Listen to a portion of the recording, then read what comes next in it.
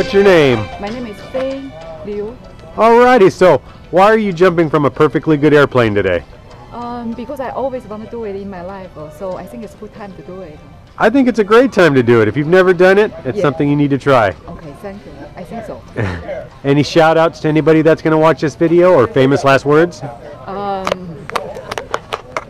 just do it. All right, all right. Well, pretty soon we're going to jump from 13,000 feet, fly like a bird, and land like a feather. You ready to have some fun? Yes. All righty, we'll see you up in there. It? We